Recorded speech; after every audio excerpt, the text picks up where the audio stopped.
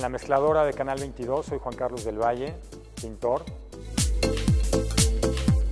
Reflexionamos sobre el autorretrato pictórico en era del selfie.